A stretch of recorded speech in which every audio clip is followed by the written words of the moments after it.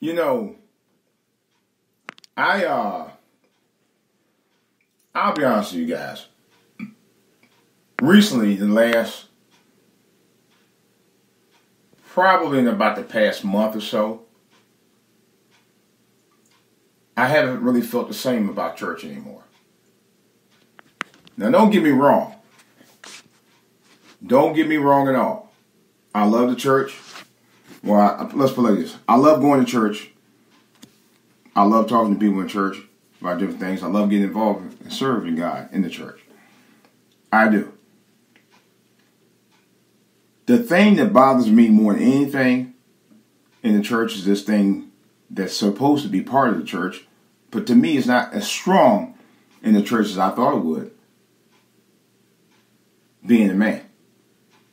It's called fellowship.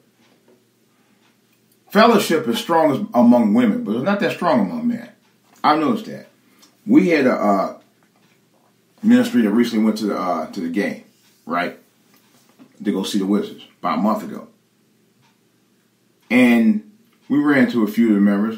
Uh, my son and I did, and most of them kind of stayed to themselves. We all sat in the same section, matter of fact. No one really said much to anybody. No. Even when we had the uh, the buffet before the game, no one said much to anybody. You know, it was just get together and that's it. There's no real strong fellowship among black men in the church anymore. I've noticed that. Now, it may not be the case in all churches, but there are churches like that. And I've seen it. And it, it, it really does bother me, man. I, I, I think that's the one, one reason why there are not a lot of uh, strong male black roles in the church today because the lack of fellowship. We talk the game, but we really don't back it up. You know? But I got a lot about that and a lot of other things to say. This is probably one of the first uh, live podcasts I'm doing on Spreaker. And I'll probably do another one on YouTube later on, another live one for YouTube specifically in Hangouts and Blog Talk Radio. Because this is something I felt about for a long time. Even when I went to church back in the 1980s, I felt the same way. You know, but a little bit different story in the 80s though than it was this because at least uh, I was more involved, but that came, that criticism about me being in church came from a family member. You know, and I do plan on talk. Well, I, I, did actually. I did talk about that in a live podcast recently. I, I'm sorry, that part I did, but I want to talk more about it because I want this message to get out to the black church specifically to let them know this is the reason why a lot of your own people don't go to church. It's not that many many of them don't want to be there. In some cases, that might be true. They just probably some of them just don't want to go at all anyway. I'm one of those that want to be there and want to be involved in the church. But when I see there's a pattern of something where I'm not feeling anymore, maybe something the church is lacking. One thing I do know, fellowship, the one thing that they do preach about in church is one of the things. This is DJ Wolf Live talking about the lack of fellowship in the church. Let's get started, shall we?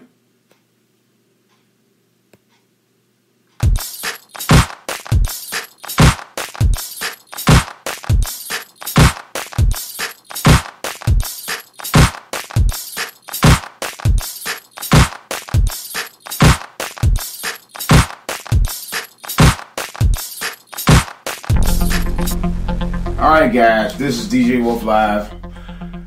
Right here in the Southern Maryland studio live. Right here is around about 845. And it's time to get underway. Alright. Well, as you tell, Sunday morning. I'm not in church.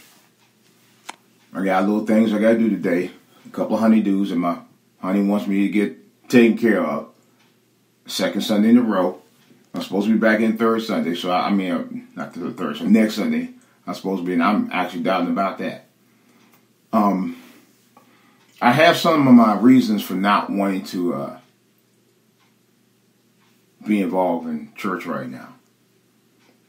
I talked about it in a uh, podcast uh, last Sunday night in detail. But I want to extend this talk about it because I've been seeing more and more stories on YouTube. I've seen some recent posts from a couple of other YouTubers that I follow talking about the same subject. You know. And I can completely understand. There are reasons why black men don't go to church like they used to, don't follow like they used to. Um, I don't mind telling the story again, but besides the fact that my dad didn't want me to uh, really get get that involved in singing in the choir, really, I think he didn't want me involved in church at all at the time, but he definitely wanted me to sing in choir. I'm like, well, are you saying that you didn't want me to sing in the choir, you just didn't want me to be involved in church? So, in any case, I was doing not only just singing the choir, but I was involved in deaconship. I was involved in as a junior deacon. I was involved in um,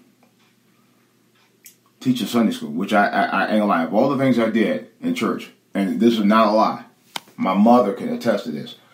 The Sunday school teaching, for me, to teach Sunday school every Sunday, or at least as an assistant, was one of my favorite things in church as a teenager. I kid you not. I loved it. I loved every every minute of it. I honest to God did. I loved it. Um,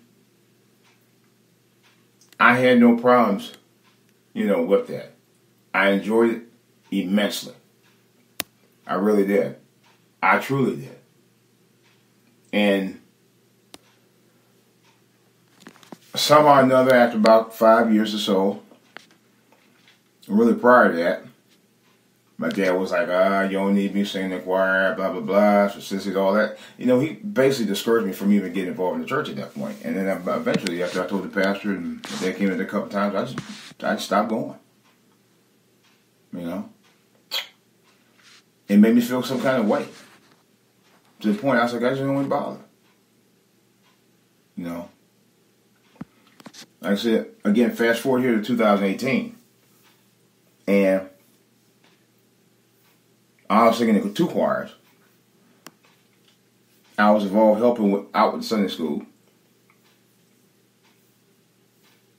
I wasn't a deacon, but I was asked to uh, see about becoming one one time a couple years ago. And I did usher a couple times, but now it's just like I'm not feeling it. The last month and a half, two months, fellowship to me is just something that doesn't matter in the black church anymore. At least not if you're African American male. Middle age.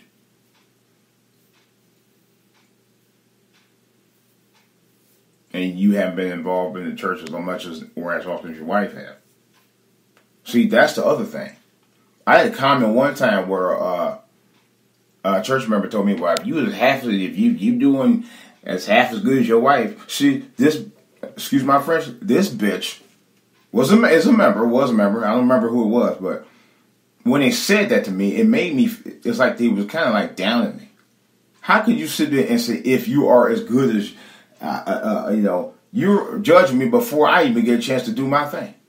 You already prejudging me, and this is one of the, one of the reasons I stopped going initially because of mess like that. That woman sat there and said, Well, if you are half as good as your wife, blah, blah, blah. Yeah. So you already doubt me before I got a chance to prove my damn self. You know? And that's why I don't totally blame people for not wanting to go to church because the church people who you think would be the standard bearers of uh, morally right, not only morally right, but morally morally respectable to you as a person are the last people to do that. Basically, what I'm saying, church is like anywhere else. You know, if I want to hear all that mess, I go to work. You know, and on some respects, I'm starting to believe it's more of a scam. Just yesterday, I was uh I'm going back out there today because I'm gonna find about this guy. This um it was his pastor. Well, he say he was a pastor. He didn't say what church he was from. Just yesterday, I was at this uh, big festival out in uh, I hear um I I hear Bowie. Matter of fact, today, uh, it was on yesterday. Going on today. Big big big. Uh, I guess like on the food fest, and they got one out here. So I'm just go out there. You know, I'm gonna scope the landscape anyway. But but he stopped me, and he was talking about you know, do you go to church? And I said, yeah, I go to church. And He asked me the name of my church, so I told him the name. But this is the weird part. I just I thought about that. I knew I saw it when he did it. He had on an earpiece on his right ear. So he bent down on his right side. Why wouldn't you bend on your left side to hear what I'm talking about? You bend on the right side so whoever it is that's on the other end, especially if the phone's active with the earpiece on, here's what I'm saying. That's what he did. He was trying to get information. Now, I think what he was trying to do was get information about not only the name of the church, but he was trying to get information about maybe if there are churches like that, like the one I, I that, uh, that, that I, I, I or somebody else might be going to, because he's probably looking to either attend, join, or be involved with the church. You know, I think what I call uh, as a street pastor scam, which it probably is. I thought about that. But that's just part of what I'm talking about. The thing of it is, when men aren't felt welcome at churches, especially by the pastor, and they tend nowadays to evolve themselves with the leadership or the emerging building of leadership in black women. I've seen that. Uh, I had a pastor tell me one time, this true story. My pastor, matter of fact, I said, we were on cruise several years ago. And he said, man, no way, ain't nothing like the women to build, well, the women to be built up in the church. Boy, I tell you, they really, they be handling things with that. And he was proud of that. Yeah. He, he, he was more prouder of the women who were building in the church than he was of the men. My thing of it is, you're a pastor and you're a man. You should want the men to build and lead in the church, uh, lead the church, and then the women come behind you. That's the way it's supposed to be. That's the way it was in biblical times. We're going ass backwards now. And I noticed that. The men should be as just as welcome in the churches of women, but we're not. Even the ones who are there. I've heard women, now this is true story. I have actually heard women criticize some of the men or the male members in the church. Excuse me. I've heard them do it. I've seen them do it. One did it two weeks ago when I was up there. Sure did. And I've seen someone criticize me. But they smile on my face, but they be all friendly with my wife. But me, I ain't like I ain't nobody. And I've been there six years. I've been there six years, singing two choirs, involving about four or five other uh, uh, ministries in the church. Okay? Don't tell me I'm not involved. Don't tell me you don't know who the hell I am. Y'all know who I am. And that's part of the problem. That's part of the reason I don't want to get involved anymore. Because you don't show me the same love. I don't expect us to talk about the same thing. Of course, women are going to talk about different things with with women than men are going to talk about different things about men about. The difference is the men don't show them the same respect in the church as women are. That's a known fact. I don't give a damn what anybody say. I've seen it too many times. You know? That's a fact. I don't feel part of it anymore. I don't. You know? My old lady stayed stayed completely silent about it the last two weeks. Hadn't say much anything about it. She keep asking, why you ain't going? Why you ain't going? I'm just not going. I tell her that. There's more to it than why I'm not going. But right now, as far as you need to know, I am just not going. Nope.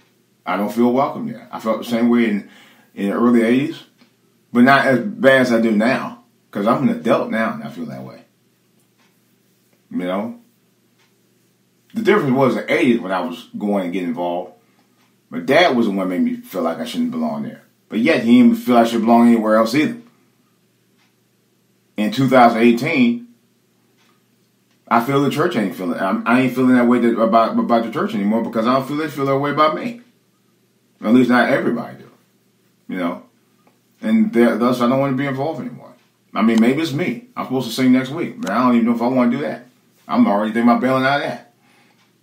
You know, I don't feel it anymore. I, you know, and I know it's, it, it, you know, but it makes me depressed because I want to be involved, but I don't want to be involved and feeling like I, you know, that I, that I have no purpose there. And I've been putting in everything that I've been wanting to do in purpose of the church for the last six years. But I've heard people say, well, maybe you're not doing enough. Well, what the hell else you want me to do?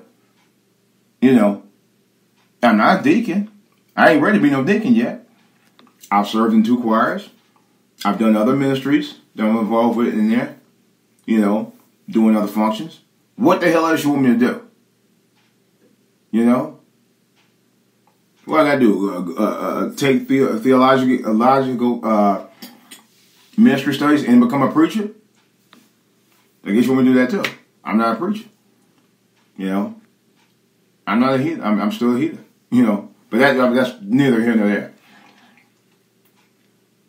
My thing is that the black church, to me, and that's just me. And I think church in general, because I've actually, I just got finished watching a uh, video on YouTube about uh, this uh, church member who happened to be white in a white church. And he basically said the same thing that the white church are doing. Uh, uh, he has issues with, like the black church are. They're all the same. He talked about some of the same stuff. And one person in one in the comments from one of the um, YouTube channels I, I, I, saw even said what how I said they said it best better than I could say it, but they're right. That women in the church now are are rude, they're arrogant, they're stuck up, they're nosy. They're uh, what is another word for a caddy? Uh, it's a, a word we uh, describes how they throw shade, which is another word for caddy, which is what I'm talking about. Uh, you know, make snide comments towards you especially if you're a man, you're involved in, in functions with, with some women in church. I've heard that. I've heard all of that, and that's like to me, it's like it, it's getting me upset because I had a comment like that uh, about about a month, two months ago, which is the reason why I stopped singing in one the choirs.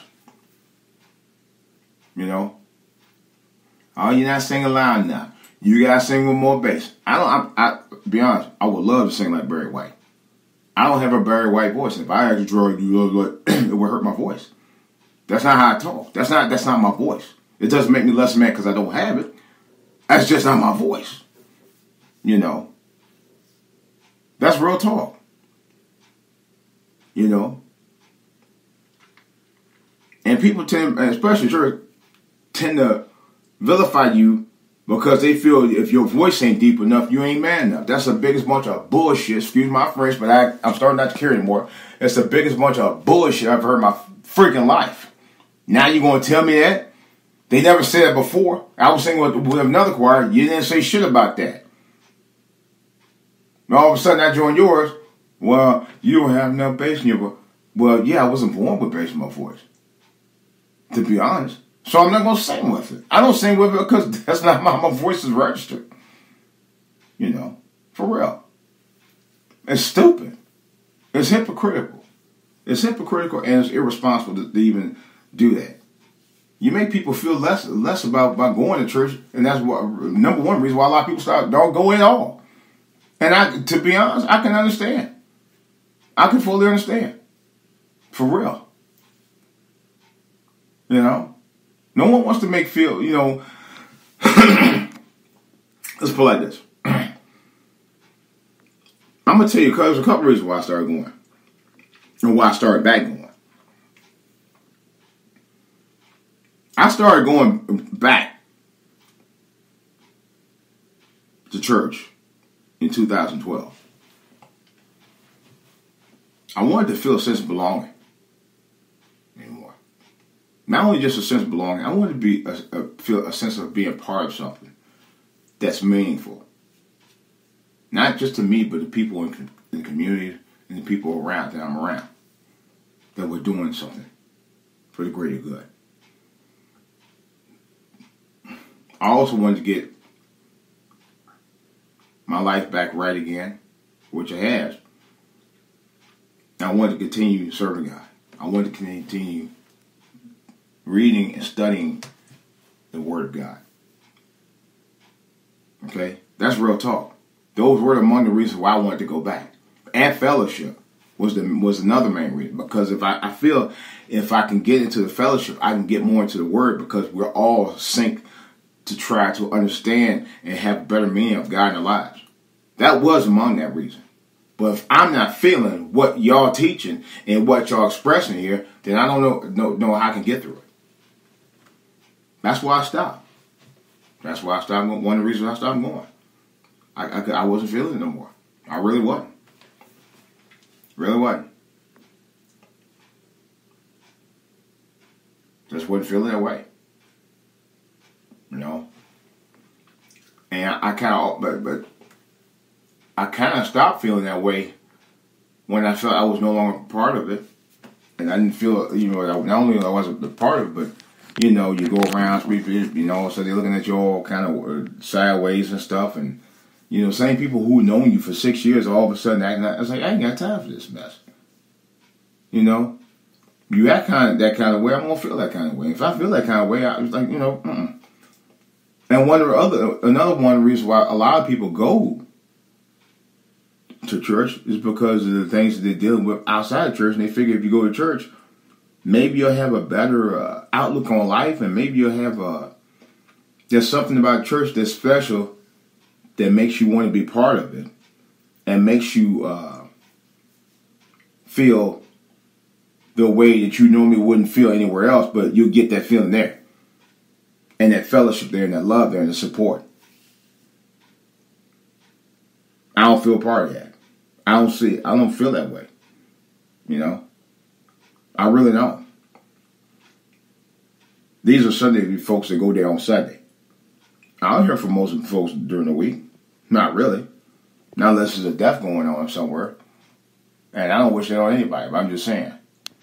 That's the only time I hear from them during the week. Or whatever. We're not friends. That's why I said fellowship to me is important. If I can't be if I can't be a part of that, if the fellowship to me ain't I'm not feeling that, if I'm not feeling that it's something beyond the church that keeps me wanting to go there, then why should I go there? I'm wasting my time. I am. Now, a pastor, associate pastor, a few weeks ago, was just talking about you need to come to church. Yeah, he actually talked about that, about why you need to come to church. And he was talking about, well, you ain't gonna get uh, church from just watching TV on the radio, whatever. You need to get the word from the church here. I, I, I have to agree to disagree. You can get church anywhere. You, you go to service on Sunday, but you can get church anywhere. You know? Now church come to you even on podcast. I used to do one uh, every morning called Daily Audio Bible. I'm gonna start back doing that. You know, where this guy actually preaches the word from the book. Now, like I said before, women, there are more women functions in the church than there are men. They have a, uh, it's an annual uh, function for women. They don't, the men don't even have this, but the women do. At least the ones I know about. It's a women, uh, it's a women wives, uh, uh, what they call that? Women wives, uh, Deaconess Fellowship Ministry, something something like that. Something along that line. They do it in war ceremony every year. Every year. A big a big thing. They don't have nothing like that for men, at least none I know of. None at all. But like I said, the majority of the black church now is built around women. And guess who's doing the most, you know, contributions in it? Women because they built the organizations. There are organizations around women in church. They don't have that kind of organization for men in church. They really don't. Not the ones I've seen, not the ones I've attended. You know? and then most around organizations for women and kids, but mainly women. I could name a five different uh, major organizations for women that doesn't involve directly with the, uh, well, at least three I know of for, for certain that don't involve anything to do with men at all.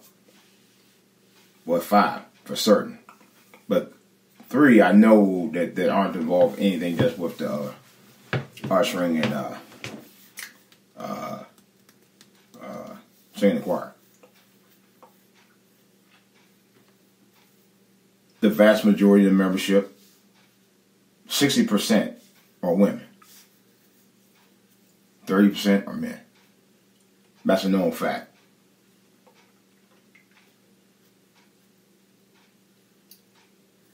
Number of churches have men's choirs. But guess what? They don't have the main men in the choirs. you know. But the choirs, the uh, other choirs, have predominantly women. You know. Yeah. That's another fact. But like I said, the women run the church. The women are, are what the, I, I find out more and more.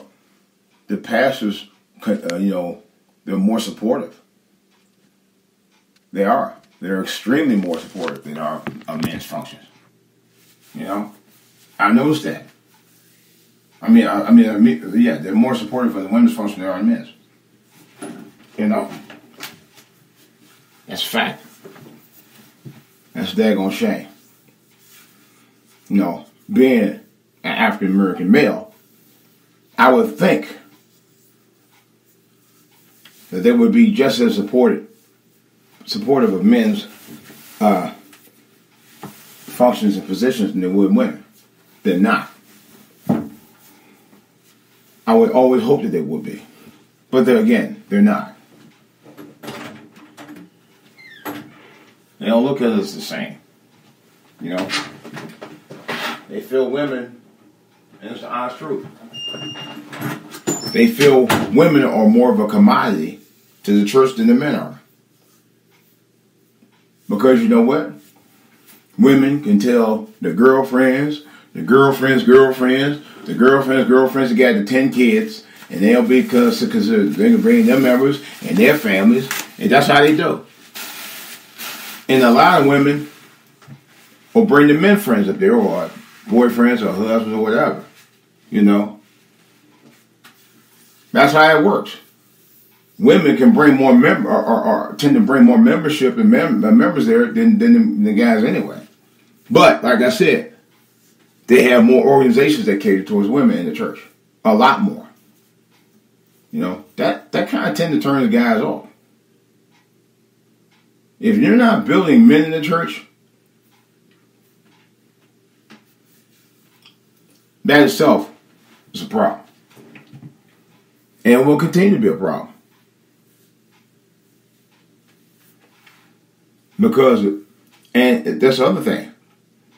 By the uh, me Too movement, the women's lib, Me Too, which really started, the women's lib movement in the 60s is what helped push the men out uh, the black church. That's a known fact, people. It pushed men completely out the black church. Because we're like, we're going to run this now. We're going to be deaconesses. We're going to be preachers. We're going to do this, that. So, the messages, I've talked about this before in previous podcasts, where the messages are catered towards empowering women. Mother's Day is one of them. Mother's Day and Easter. And I think on some respect, or Christmas. Those are the three of the bigger ones that I know for a fact. Oh yeah, Valentine's Day, that's another one. That's four. Where they will always bring that message about empowering women. And believe this, get this. Father's Day too. The difference is I have never actually heard pastor talk about fathers on Father's Day? Nope. Almost never heard him talk about it. But I did hear one we talked about women having the role of mother father Father's Day. I've heard that. What does that tell you? They don't want men. Men aren't, aren't considered a factor in the, in the, in the black church anymore. That's a fact. I hate to say it, but it's the truth. You know? And until pastors, that's both male and female, start building where you bring men into the church and build and stop making it all about the women, at some point you will be able to build. But you also got to change the mindset of all of your members about building in the church. Because the building starts with the men in the church, not with the women. If you do it the other way around, you're going to have a problem. I don't care what anybody say. And the attitude's got to change. Because if you got men who are there and with the women, and members that goes for both men and women start acting a little flaky around that man, man, man, that man and men will start start dropping off the church like flies. They will stop, start leaving because they don't feel that much support. I've seen it happen. I've seen where pastors, associate pastors, have been there maybe about a year or two and then left because they don't see them building there anymore, or maybe they just want opportunities to get there just to get their name out there and build their own church. That's that's also happens as well. But the division is real. Like I said before, the attitude of black women in church has changed in the last 40, 45, 50 years. A lot. And not for the better. You know, where the black church don't even talk about uh, kids should be abstaining from sex. They don't chastise women.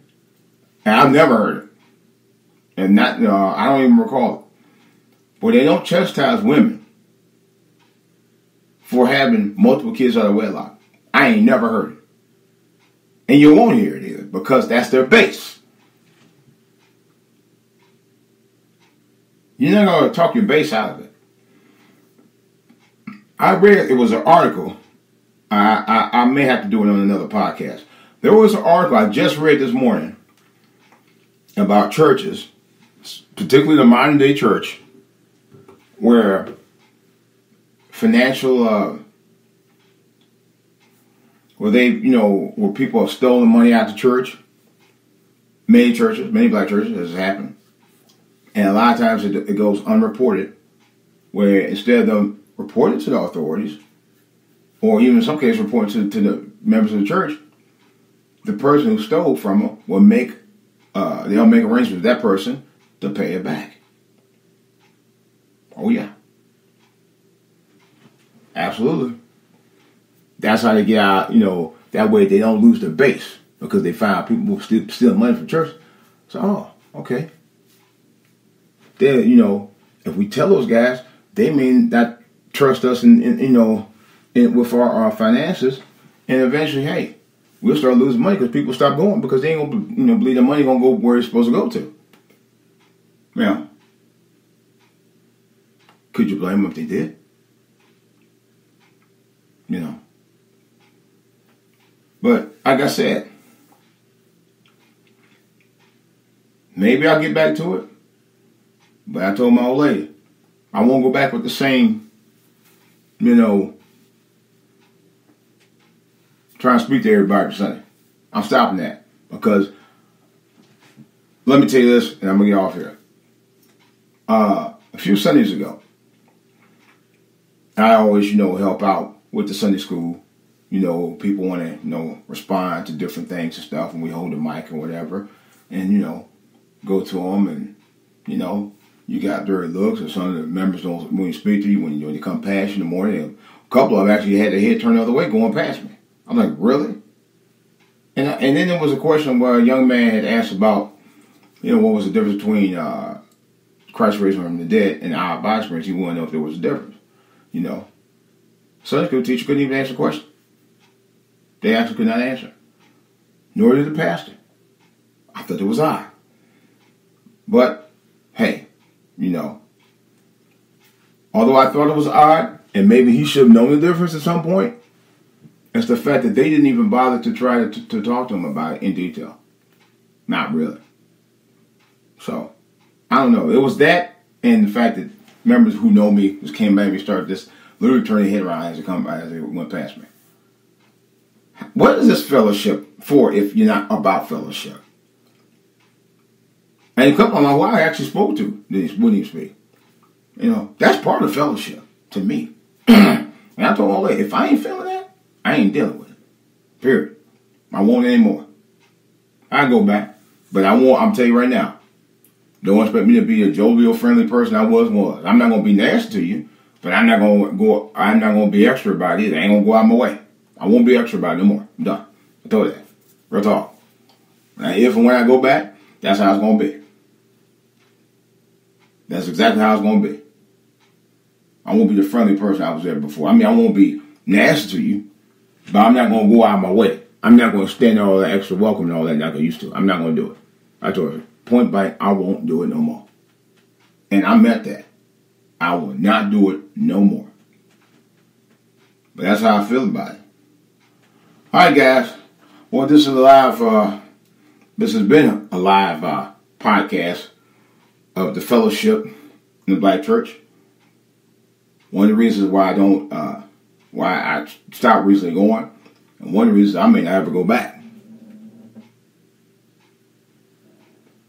It's just the way I feel. You know, it's the way I feel about it. But nevertheless, I'm not trying to discourage anybody from going. I'm just saying my reasons why I feel the way I do about it anymore. And why I continue to do so. Alright guys, this is DJ Wolf. That's all I got to say about it. When this uh, live podcast ends, or when you finish listening to it uh, on the playback, leave a comment. Say what's on your mind, good, bad, or indifferent, or whatever. Subscribe to my channel. Let me know if you have any additional comments or any additional suggestions about uh, any future uh, podcasts or live broadcasts on YouTube. Please drop a line. DJ Wolf Live at AOL.com. That's DJ Wolf Live at AOL.com or DJ Wolf Live at gmail.com. I can also be reached at DJ Wolf Live page on Facebook and DJ Wolf on Twitter. All right, guys, this is DJ Wolf. That's all I got. I'm out.